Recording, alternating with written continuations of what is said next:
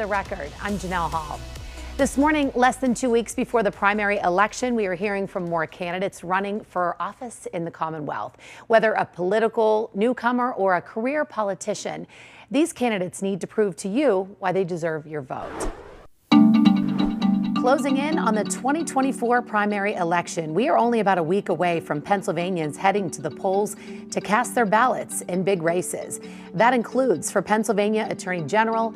And a hot topic for those running is election integrity. And we have to do everything in our power to make sure that everybody has the, the access to vote, that everybody can vote in a safe and secure place. We just have to make sure that the results are, are fair and accurate, period. We're going one on one with a Republican who's pledging to bring a tough on crime approach if elected, plus looking to flip a Pennsylvania state Senate seat from blue to red. This is a huge opportunity for the entire district, and this is a big reason why I decided to completely switch gears and throw my hat in the ring to run for this seat. A candidate for the 45th district with why she believes she could have a positive impact in Harrisburg and looking to spend another six years in our nation's capital to be a voice for Pennsylvanians. Tax the excess profits of big oil companies and return that by way of a rebate to consumers. Senator Bob Casey highlights some of the biggest issues front and center in Washington and across the Commonwealth. Over the last several weeks, For the Record has brought you interviews from the candidates hoping to become the next Attorney General. Seven people are running in two primaries five Democrats and two Republicans. And now we're hearing from Republican Dave Sunday. He is the district attorney for York County and is a U.S. Navy veteran. He told our Michelle Wright he's going to be tough on crime if elected. You're a Republican promising to crack down on crime. That's right. Tell us what would you do differently than what's happening right now? Sure. Well, to start with, if our communities aren't safe, nothing else matters. I'm going into my 16th year as a prosecutor in York County. So through that, we've been able to decrease crime in York County by 41% since the 10 year high. And the way that we did that was through holding people accountable, but also embracing redemption. And so when we look at the Commonwealth as a whole, one of the absolute number one issues facing our community with regard to public safety is substance abuse, and in particular, fentanyl. When you look at the, all of the crime that occurs throughout our community, probably 70% is either directly or related, directly or tangentially related to drug abuse. And so at the same time, when you look at the drivers of crime, we also have a mental health crisis in Pennsylvania. And so going back to my record and the work that I have done throughout my career, to start with, we were able to lower overdose deaths by 26%. And that's in a county that's directly north of Baltimore, which used to be the heroin capital of the United States. And the way that we've done that is working collaboratively in the entire community by holding people accountable, but also by um, embracing redemption. And so when I say accountability, you've got to go after the drug dealers. You must hold them accountable. The drug traffickers have got to be held accountable. The organizations that are trafficking fentanyl into our communities must be held accountable. Uh, we have to collaborate with police and the communities in doing that. And at the same time, people have to get into treatment. And so we have to have a balanced approach where people at the same time have access to treatment. Let's turn to abortion now, such okay. a big topic nationally and here mm -hmm. in Pennsylvania. Let me start out by asking you what your stance is on abortion. As an elected DA running for Attorney General, I can tell you that I have taken an oath to uphold the law. And the law, as we know, and post Dobbs, the law, this is, it's the will of the people as exhibited through the ballot box, is who's going to make the decision on abortion in Pennsylvania. I can tell you that it is absolutely critical that we have empathy for women and mothers, that we listen to them during this entire, I'll say, process to determine you know, what the law should be in Pennsylvania. And I think that we have to do everything we can to support them and provide them all the resources they need um, to be able to make unbelievably difficult decisions um, in their lives. Pennsylvania's uh, Attorney General played a pretty key role in the 2020 election. Mm -hmm. um, you're very well aware of what all yeah. happened with that. Let me just ask you first do you think the election results were valid? So, as the elected DA in York County, I have had an opportunity to investigate um, allegations of fraud that came to me as the elected DA in York County. And I can tell you that based on what I saw personally in that capacity, um, I saw nothing in York to lead me to believe that there was any fraud to the level that would overturn an election. All right. Uh, there has been an, a movement in the Pennsylvania legislature to crack down on various ways of voting ballot boxes, mail in voting, um, even an audit post election. What are your thoughts on, on changing the law regarding election voting? No, I appreciate that question. So, to start with, I think we have to ac- accept as a society, regardless of how we got here, that there are many, many citizens that, for whatever reason, have chosen to not believe that our that the election results were valid. Okay, so we have to accept that that is the case. And when we look at the concept of fraud in elections, we have to recognize that our elections are the most important part of our democracy, period. I mean, that's what fuels our democracy, it's the foundation of our democracy. And we have to do everything in our power to make sure that everybody has the, the access to vote, that everybody can vote in a safe and secure place. We just have to make sure that the results are, are fair and accurate, period, regardless of what your political party is, because that's the foundation of our democracy. And Does that include changing some current ways that we vote, including voter ID, ballot boxes, mail in voting? Does that include changing any of that? Well, I think that if that if that was the will of the people, that that should be changed, then that's something that I certainly um, would would support. Because remember, we take an I take an oath to uphold the law, and it's important to remember that when we look at our our different branches of government, and we have to get back to a place where that's respected. And so when I'm running for the attorney general, I'm saying to the to the people of the Commonwealth that I'm going to be the attorney general. That's going to be my role.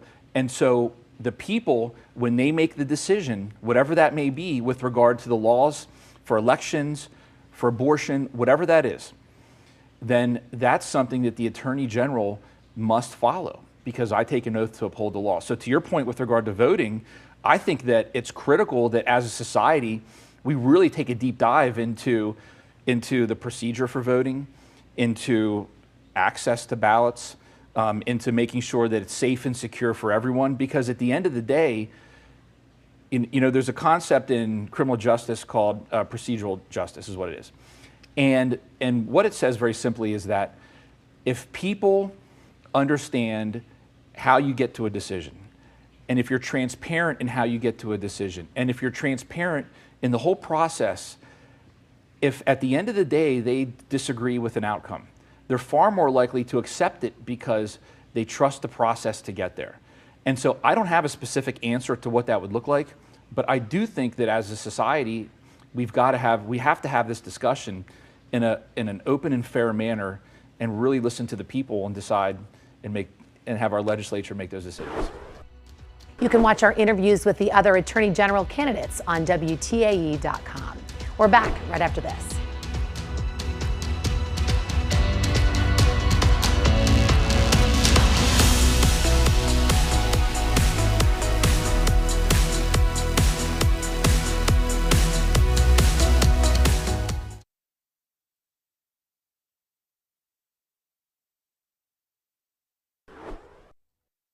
Welcome back. Now we're taking a look at a local race in the 45th district for Pennsylvania's state senate. It covers parts of the Mon Valley, South Hills, and eastern suburbs in Allegheny County. State Senator Jim Brewster is retiring after holding this position for 14 years. And one of the candidates on the ballot is Republican Jen Dintini from Plum. She told me she believes knowing what her neighbors want and need would help her in office.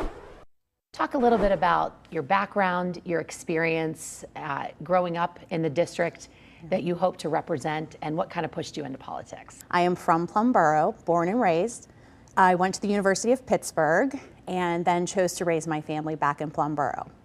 I own two small businesses, AmGuard and 3G Security Solutions, and we provide contract security guard service. We employ hundreds of people in the region, some of which are union members, and we're very proud of that. Um, I'm a mom, uh, I'm a wife, I'm a stepmom. We have a beautifully blended family of four children. And uh, we're very active. We're at sports and dance and, and all the things. And I participate in the Baseball Softball Association as well as uh, the PTO. There's a lot of focus um, on the pending sale with U.S. Steel, which obviously is right smack in the middle Yes. of that district. Give me your thoughts about Three that. plants. You- you're- Three plants are in this district. Three and different, so, yeah. Yes, and so it's critical. I mean, everyone is very emotionally involved, and rightfully so. And I think that what the real issue is is why are we here? How did we get here? How did US Steel get to this point that it is for sale? And I think that we can point some reasons to the barriers that have been put up by local politicians and policies that are um, not working in favor of the steel industry. Uh, just recently, a few years ago, they were going, US Steel was going to invest a billion dollars into the Edgar Thomson plant. And because of the cumbersome permit process that we have, they weren't able to start those upgrades. And so they, they decided to scrap the project. And that's a huge loss to our community. And they have put funds and investments into other states instead of here. Because where you have places that are business friendly, that's where the businesses go. So I think that we need to be cutting the red tape and the barriers for businesses in Pennsylvania and doing what we can to work with them so they come here. So, how do you balance that between listening to the business community, business owners like yourself, people who want the jobs, and also tackling the issue when it comes to the steel mills? Uh, complaints and concerns about clean air. Right. So I think that, again, priorities are definitely keeping our steel mills open and our job creation people that work at US Steel are brilliant. And I think that instead of putting in these fines that we do, we could be using that money towards um, environmental responsibility. And so investing back into our environment instead of just putting excessive fines on them. One of the other issues is transportation. Mm-hmm. We talk a lot about different challenges different neighborhoods may have in terms of access. What are your thoughts on what may need to come to the Mon Valley or some things and the other communities? So, the Mon Valley Expressway is starting its third phase now, which is great. And the fourth phase will eventually come out to the Parkway in Monroeville. And that's going to be a game changer for people that live here because that's part of the issue that we have is that it's not easy to get throughout this district. It's, it's just not. Um, the highway system isn't built yet. Um, so I think if we can do that, it just it opens up so many doors and conveniences for the people that live here. One of the things I meant to ask you, right now this district is represented by a Democrat. Yes. As a Republican, what do you hope changes in the district and why do you think this is such an important race, you know, in terms of, you know, this seat and keeping your beliefs in, intact in this district? So this is a huge opportunity for the entire district, and this is a big reason why I decided to completely switch gears and throw my hat in the ring to run for this seat. Mm-hmm. We have had a Democratic male senator since 1961, and for the last 30 years, the Democrats have had the minority in the state Senate. So keeping in mind that the Republicans have the majority and I would be the next elected Republican senator, that opens up huge opportunities for our district to pass legislation to get grant funding for important projects that we have. That's something that this district, like I said, in the last 30 years hasn't experienced. So this is all about creating opportunities for us. Um, I want to ask you a couple specific uh, questions. When we talk about public safety, education, and mental health, I know that those have been key issues for you. If you could just um, kind of tap into each of those topics and talk about your perspective and some things that you may want to see where you may want to see change in those areas. I think our communities need to be united and support our police and, and all of our first responders, you know, fire and EMS as well. Um, and then the next part about education, uh, the courts have already ruled that we are not properly funding our education system, and we need to make sure that we're doing so. Um, and also being able to empower parents at the same time to have, you know, a say in their children's education. I think that it's a, it's a group effort that should all be working together. And then to touch on mental health, I think that particularly since COVID, um, some of the negative stigma related to mental health is starting to go away, but I think a little bit of it's still there. our minds are a part of our body, like we take care of everything else, try to eat right, exercise, go to the doctor when something doesn't feel right. And I think that that's the acceptance that we need to have around mental health and increase resources for people, particularly our kids. You can find our interviews with other District 45 candidates on the WTAE mobile app. We're back right after this.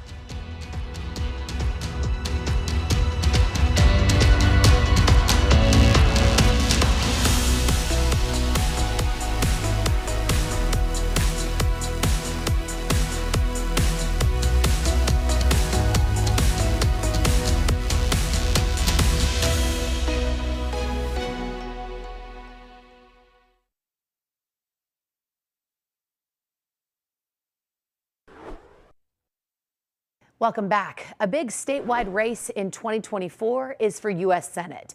While both primaries are uncontested, you'll see two familiar names on the ballot. Bob Casey is seeking his fourth term, and Dave McCormick is running again. He took on Mehmet Oz in the Republican primary in 2022. Oz went on to the general election, losing to John Fetterman. Our Sheldon Ingram spoke with Senator Casey about an issue impacting all Americans. Let's look at uh, one of the hot topics. It's always a hot topic for any election is inflation. Um, it's one of the highest rates of inflation that we've dealt with in recent years. Um, I guess we're close to 6% over the rate of inflation right now under the Biden administration. Um, do you see any relief in, in sight with that and and how can that be addressed by Congress specifically by a person like you seeking reelection? Mm-hmm. Obviously inflation went really high in in the post-pandemic period. It's come down but one of the problems right now is even though the, the overall number is down people are still not only feeling but but actually paying a lot at the grocery store by way of one example. And that's why I've focused on this problem that I think people have seen for years but are just beginning to to focus on now, which is greedflation. That corporate profits went up in the, the period July of 20 to Ju July of 22, that two year period. Corporate profits went up 75%. So big companies, after getting a big tax break, then had huge corporate profits, and that was driving in those first two years about 40% of all the inflation in the country. So how so, does that work? Because there are yeah. there are a number of complex factors right. that cause inflation to go up and to come down. And you're saying that accounted for 40% in the first 2 years and continued into 2023. So but how does that work? Explain to us how, yeah. how that happens. Well, corporate profits the Federal Reserve found were, were driving a lot of the inflation when the when their when their their profits are up, their profits are up 5 times the rate of inflation. And so uh, economists have coined, used the, the term greedflation for that. And what I believe we need to do is not only help the consumer deal with that, that's one part of it, with, with a middle class tax cut or uh, a better child tax credit to help families pay for food, but we have to crack down on greedflation by passing a, a price gouging, a corporate price gouging bill to give the Federal Trade Commission the power to go after these companies, hold them accountable when they're jacking up uh, food prices. We shouldn't just settle for that. We shouldn't just say, oh my goodness, uh, food prices have been high all these years and we're just going to let corporations get away with it. We have to crack down on this problem. The related problem, which you might, might have heard of, is shrinkflation, where they're over and over again, not just a, a bag of Doritos or a bag of, of cookies, but laundry detergent and so many other examples, where they're shrinking the product but not shrinking the price. That's a ripoff and it's, it's corporate greed, and we have to crack down on it. So th that's one major thrust of our work to try to help consumers. How do you reverse the trend of rising fuel costs that we've seen under the Biden administration? When you have uh, big oil companies making record profits, I believe that the way to attack that, one of the, the central ways to attack it, is to go after those, those excess profits, to tax, tax the excess profits of big oil companies and return that by way of a rebate to consumers. That's the only way big oil is going to get the message, to tax their excess profits and return it to consumers. That's one good, I think that's one way to approach the, the problem of higher gas prices. Where do you stand on the Israel, Israel and Palestine conflict, Ukraine and Russia war? Yeah. Where do you stand on both of those? Well, the first thing we should do uh, with regard to both uh, the, the effort to defeat Vladimir Putin, he has to be stopped. He's a murderous dictator. There's, there's no question we should pass the Ukraine security bill. But that bill also contains help for Israel to, to continue the war against Hamas. How does this bill affect sympathizers for pa- Palestinians? We know is is is going after Hamas, Right. but there are I- Palestinians, and there's a difference between the two. Part of this bill also will be uh, billions of dollars for humanitarian assistance. Uh, just the, the, the assistance for Gaza, the humanitarian assistance for the people of Gaza, would be $1.4 billion in this bill. So it would be a bill that will help the objective of defeating Hamas, but also help uh, the people of Gaza. And we've got to do a lot more to get food aid, to get medical supplies uh, and, and medicine into Gaza. The United States has to do more. The Israelis have to do more. The Arab countries and the Gulf states all have to do more. We have to rush aid into to Gaza to help those, those families. Now, if there's a hostage deal and the shooting stops for, for a while, for hopefully a, a number of weeks, that, that aid can get in uh, without a lot of obstruction. Barrett, and the last question, the Rail Safety Act, which you helped Yep. sponsor last year, and we're referring to that train derailment in East Palestine Yep. uh, last year. Um, a lot of deregulation, unions and people involved in the rail industry say that deregulation was one of the reasons why there were lax efforts to protect the rail system, which Yeah. in sense caused that, that derailment. Where does the Rail Safety Act stand at this point? There's good news and bad news. The good news is we have bipartisan support, meaning enough Republican senators to make it bipartisan. I think on our side it'll be every every Democrat in the end will vote for it. But the the the the votes in the Senate to pass the bill have to hit. Have, we have to get 60 votes. We're told by uh, the Republican senators that those who support it uh, that they're they're stuck at about we're stuck at about 58. So getting all the Democrats plus a small number of Republicans, we need about two or three more Republicans to pass the bill. That's where it stands. For the record, we'll also be interviewing Republican Dave McCormick. You can see his interview coming up later this month. You're watching For the Record, and we'll be back right after this.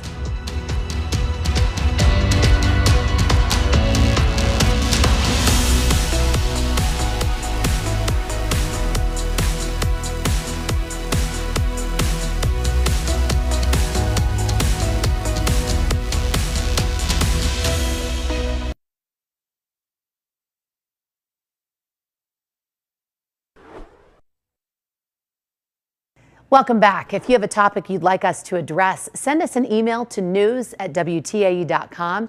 You can also rewatch this episode or any episode with the very local app on your smartphone, tablet, or smart TV. Thank you for joining us. Have a good week.